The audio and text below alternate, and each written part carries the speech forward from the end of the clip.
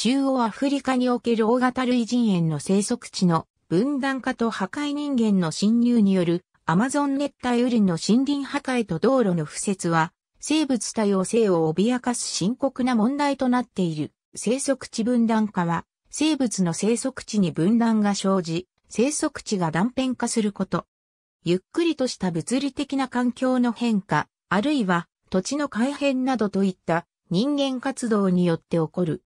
特に人為的な要因で起こった生息地分断化は、急激な環境の変化と個体群の分断を引き起こすため、多くの種の絶滅や個体数の減少につながる。生息地分断化という用語は、以下の4タイプの生息地の変化を表すのに用いられる。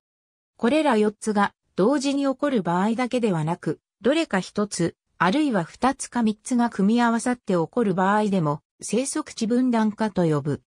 生息地の破壊は、火山の噴火や火事、気候変動などといった自然現象でも起こっていたことが化石記録から明らかとなっている。例えば、今から約3億年前のユーラメリカ大陸で起こった熱帯雨林の生息地分断化によって、両生類の多様性が著しく減少したが、同時に気候の乾燥化が進んだため、爬虫類の多様性の増大も起こったと考えられている。生息地分断化は、例えば農業利用や郊外の土地開発、都市化、水力発電のためのダム建設などといった人間活動によってしばしば発生する。そのような人為的な環境拡乱は、そこに生息する種の存続を危うくしており、そのような生息地の破壊と分断によって絶滅の危機に瀕している生物種の数は年々増加している。